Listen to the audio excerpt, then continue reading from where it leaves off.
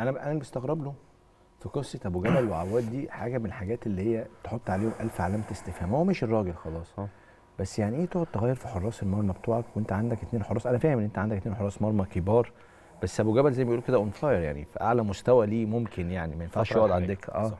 وقبل كده كمان يعني حتى في وجود جنش وفي وجود محمد صبحي أربع حراس مرمى عاليين جدا. يعني يمكن الزمالك السنة اللي فاتت بيتحسد على مركز حراسه المرمى. لكن هو المركز ده دايما أنت لازم تثبت فيه واحد بيلعب بشكل كويس قوي لا قدر الله حصل إصابة أو حصل إيقاف بينزل اللاعب الثاني ولما بيمسك في الفرصة بيكمل مم. عواد لاعب مفيش حد يقلل خالص من إمكانياته لكن زي ما بقول لك أنت بتستغل معنويات لاعب جاية مرتفعة جدا وظهر بشكل كويس صح. في المباريات حتى في مباراة ديترو أتلتيكو هو ما كانش ليه دور في التعادل مثلا فكان لازم يكمل مم. دي حاجات كتيرة هو عملها مم. فاجئك بعد كده قلنا قبل كده لما يجي مدير فني يغير طريقة انت محتاج فترة طويلة جدا عشان تقدر تغيرها طبعاً. فترة توقف. لا ومش بس كمان كده انت عايز فترة تبقى انت مستقر فيها على مستوى النتائج وابدأ أغير. تمام. آه هو لما جه غير اولا التشكيل عبد عن الطريقة دلوقتي وهرجع لك نادي سموحة. اولا انت بتلاعب فريق منظم جدا ما أنا مش هغير تشكيل بلعب في كاس مصر مثلا مع فرقة في الممتاز ب أو فرقة في ترتيبها في الجدول القليل. انت بتلعب دوري مع فريق مركزه الرابع مع مدير فني مستقر صح. مع مدير فني منظم جدا مع مدير فني عنده عناصر لعيبة كويسة بتقدر تدافع كويس وبتقدر تعمل هجمة مرتده اللي هي هتعملها قدام نادي الزمالك. صح. فأنت و- ما درستش حتى المنافس اللي وضيف عليهم إن أنت عندك ضغوط كمان فرق النقاط بينك وبين الأهلي. إن أنت ضغو... أيوه كمان. آه. وكمان طالع من ضغط آه، تعادل مع فتره مع فريق بيترو أتلتيكو. فانت كل ده عملته قدام مدير فني كبير. مم. وأنا قلت قبل كده يمكن حتى أنا كنت معاك قبلها يا كريم صح. قلت ان هو مباراة مدير فني مع مدير فني وفي مباراة بتبقى لعيبة مع لاعب. صح. فدي ادي نقطة. جيت بعد كده عملت الأكتر كمان. غيرت طريقة قدام نادي سجراده اللي هو مش طبيعي إن هو مش كويس. مم. وأنت من ساعة ما جيت نادي الزمالك سواء في الولايه في الولاية الأولى أو الولاية الثانية بتلعب ب 4 2 3 1 صح. الفترة هل كانت كافية من من ما انت لعبت سموحة وسافرت كانت كافية انك تقدر تغير الطريقة وتحفظ لعيبتك الطريقة؟ مم. لا استحالة. طبعا استحالة. آه. خايف خاف على يعني تغيير خطة في مباراة سجراده كان بسبب طارق حامد. يعني إحساس إنه مفيش حد مفيش لاعب بعينه بينفع يعوض طارق حامد في حط يحط ثلاثة يعني يلعب بيهم في نص الملعب. طب ما رجع عمل القلعن في مباراة الوداد. آه. طب ده ده أنت لو بتفكر فيها أفكر فيها في الوداد. أتفق معاك والله. المغربي في المغرب. صح. لا يعني انت طبعا انت انت في مباراة سجراده ممكن كنت ممكن تلعب بإمام عاشور كنت ممكن تلعب 4 1 4 1 مفيش عادي. ودوس أيوة. مثلا يعني واكسب الماتش آه. آه. كده لكن في مباراة الوداد كنت محتاج تبقى مأمن يعني تمام وبعدين هل مثلا برضو الثلاثه ليها مقومات يا كريم آه هي مش بنلعب ثلاثة لمجرد أيوة. ثلاثة الراجل بتاع النادي الأهلي لو عملها مستر موسوماني لما عملها عشان عرف إن في ناس عنده بتبدأ ال- الهجمة بشكل كويس قوي ولسه كمان لما بدري بنون يلعب جنب محمد عبد المنعم مع مم. الوقت. مم. وحمدي فتحي ينزل في وسطهم. ده الطريقة دي هتبقى تحفة بالنسبة للنادي الأهلي. طب اشرحها عشان هم برضو الناس ما فهمتش ليه في مباراة سجراده الثلاثه اللي ورا دول كانوا عاملين أزمة. يعني الثلاثه ما بيعرفوش يطلعوا بالكورة الثلاثه فلات جدا الثلاثه ما عندهمش التحركات الجانبية. يعني يعني أهم حاجة في النقطة الأولانية الثلاثه اتفاجئوا بيها. آه. خاصة إن مفيش حد فيهم لاعب ديفندر. أحيانا في مدير فني زي وهو- حمدي فتحي في الأهلي كده زق شوية آه دفاع وهو بيحط ال plan بتاعه بيجيب لاعب إحنا كنا أيام زمان نقول بيعرف يلعب مساك وبيعرف يلعب defender. صح. انت الثلاثه مفيش حد فيهم لعبها. صح. آه، موضوع بداية الهجمة مش أي لاعب عنده الملكة. صح. و... وكمان بيجي على وقت مثلا على حمدي فتحي يبدأ لك الهجمة بس بيبدأها بيكون ظهره للمنافس ووشه للجون مح... عبد الغني أو محمود علاء أو الونش دايما لما كانوا بيستلموا بيستلم وهو فاتح على الخط وظهره لجونه وشايف الملعب كله وكشفه صح فالحاجات دي كلها انت مهمة بالنسبة لك. أما جيت تغيرها غيرتها في اتنين هافات قدام. كان شيكابالا وكان آه، شيكابالا وأشرف من آه كان- لا مش آه، شيكابالا وأشرف. وسيسي. سيسي؟ آه سيسي. والاثنين أهم مميزات فيهم إن هم لما بيستلم على الخط وبيدخل لجوه. صح. بالكورة. صح. لا هي دي الطريقة دي.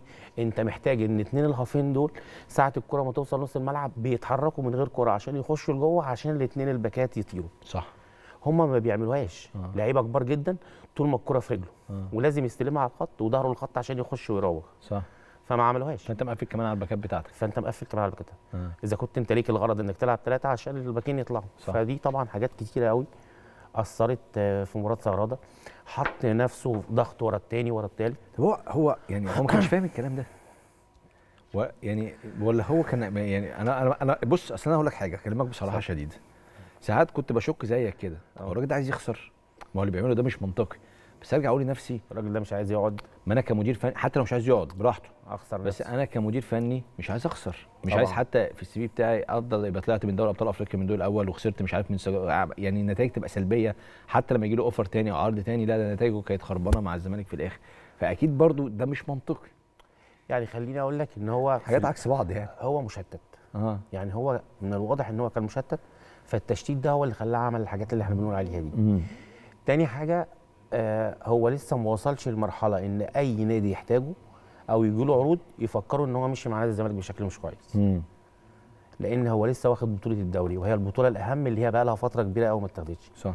فالحالتين أنا أعتقد إن هم كانوا مطمنينه شوية. آه. إن أنا مدير فني هيجي لي عروض في أي وقت. طيب. ما بعد كارتيرون؟ المفروض يحصل إيه في الزمالك؟ ما بعد كارتيرو آه طبعا في شغل إداري مهم جدا. يعني من وقت ما جه المستشار مرتضى وجه أمير أمير أنا قلت قبل كده إن هو من نوعية الناس اللي بيعرف يكون فرقة والفرقة المكونة حاليا اللي اخذت السوبر الأفريقي والسوبر المصري وبطولة الدوري أمير كان له دور كبير قوي في تكوينها. آه أنت دلوقتي هتجيب مدير فني هيبقى عارف قيمة نادي الزمالك وعارف إن الفريق ده بينافس على بطولات لازم يكون على الأقل بدراية بمجموعة اللعيبة الموجودة الحالية. علشان هو في نفس الوقت اللي هو هيخش فيه على بطولة الدوري اللي عنده ماتشين فيهم مهمين ورا بعض وبعد كده هتخش كلها مباريات مضغوطة. ده هيبقى دور كبير قوي للكابتن أسامة نبيه إن هو لازم يشرح له الحالة بشكل عام. وفي نفس الوقت هيبقى مدير فني بيبني للسنين اللي جاية. والسنين اللي جاية بالنسبة لك لنادي الزمالك أنت محتاج السنة الجاية مجموعة عناصر كبيرة جدا عشان تقدر تخش في البطولات. بس هو الزمالك دلوقتي أنا كنت بقول كده في المقدمة النهارده.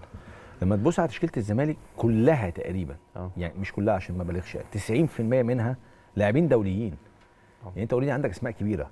أشرف بن شرقي دولي. تعال نمسك من حراسه المرمى. محمد أبو جبل دولي.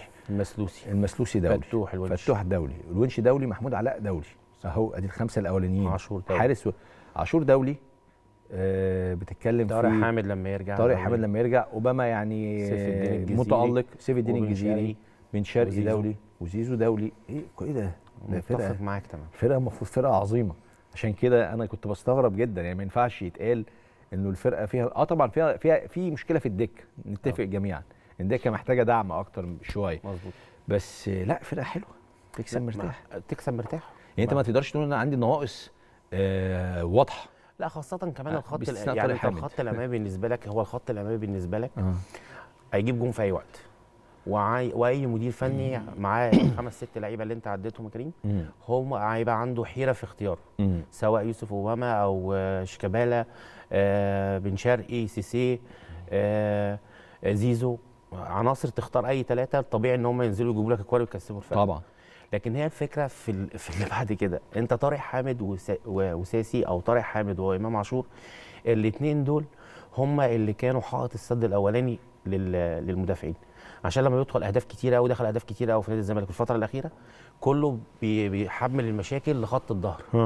لا مشاكل خط الظهر دي إن ما كانش فيه اتنين بيمنعوا على الأقل المهاجم حتى كمان. أيام زمان كان يقول لك أما توصل لخط الظهر بتاعنا تكون منهك. صح. إن أنت عديت على ناس بتحارب معاك وبتعافر لا معاك. هو ليه نروح بعيد قوي تعالى الدليل أهو. في كأس الأمم الأفريقية إحنا كنا صايرين بشكل دفاعي محترم. الأصل في ده كان تألق النني وحمدي فتحي وعمرو السولية دول كان هم اللي هم اللي بيريحوا اللي, خلوا اللي ورا شكلهم حلو. وعارف انت بتعمل إيه؟ بتقطع وتسلم وتنقل الكرة في نص ملعب المنافس واخطف جيب جون و... وتمم على كده. لا انت عندك مشكلة كبيرة و... ويمكن يعني يمكن الحمد لله أنا اول ناس أنا قلت ان نادي الزمالك محتاج في مركز الديفندر لا يقل عن اثنين أو ثلاثة صح. وقلنا كمان ان طارق حامد يا جماعة أنتوا لازم تبصوا مستقبلا. مم. لازم تجيب آه، واحد في مواصفات طارق حامد. صح. لازم توجدها من دلوقتي. فورا. ونفس الشكل بالنسبة لساسي.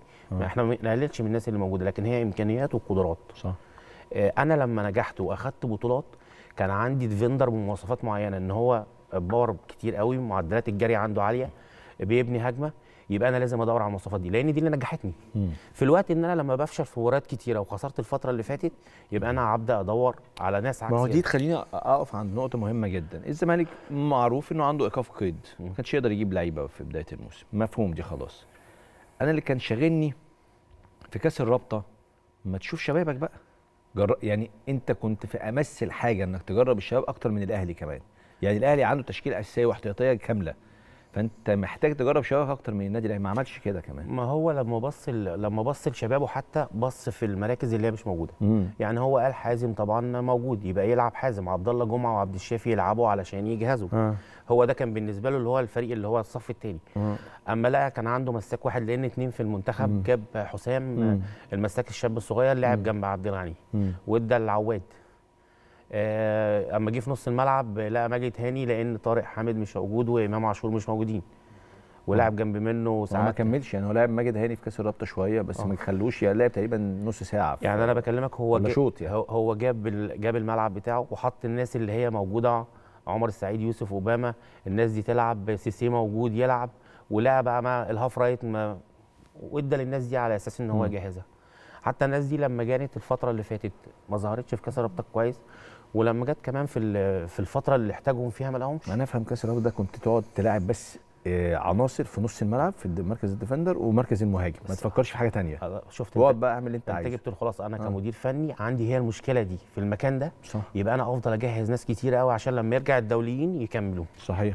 لا هو كان أنا فاهم إن أنت ما كنتش تقدر تلعبهم في أفريقيا عشان القايمة بس على الأقل في الدوري كنت تقدر تستخدمهم بشكل كويس. والله يا كريم أنا يعني كنت بتكلم مع ناس كتيرة في الكورة المدير الفني تعرف برضو حالته وهو واقف مش كارتيرون اللي هو كان في مباريات الدوري مشدود وعايز يكسب ويوجه و و و واللعيبة علاقته بيهم كويسة وبتاع مم. كنت حاسس إن في حالة كده في آخر ثلاث مباريات آه، عادية بالنسبة له مهم. يعني الموضوع بالنسبة لي كسبت كسبت ما كسبتش ما كسبتش هقعد هقعد أمشي أمشي مم. مش فارقه ال- الأهم من ده كله إن الأهلي والزمالك بيضيفوا لمديرين فنيين كتير جدا صح. وبيضيفوا بشكل كبير قوي وبيتيحوا لهم فرص في أفريقيا وفي الدول العربية بالأخص ومع ذلك في بعض المديرين الفنيين ما بيقدروش. لازم يكون في تضحيات. مم. لأنك أنت لما جيت نادي الزمالك قبل ما تاخد البطولات دي أو موسيماني قبل ما يجي النادي الأهلي افتكر حتى في طريقة تجديدك أنت كنت بتتمنى إنك تمر النادي الأهلي. صحيح. أنت اللي صورت جمهور النادي الأهلي وقلت إن أنا عايز. يبقى دي محتاجة تضحيات. كارتيرون برضو نفس الشكل. يعني انت نادي الزمالك لما جابك في الولاية الأولى جابك وانت ماشي من النادي الأهلي بنتائج مش كويسة. صح. فانت فين من الكلام ده؟ صح. طيب.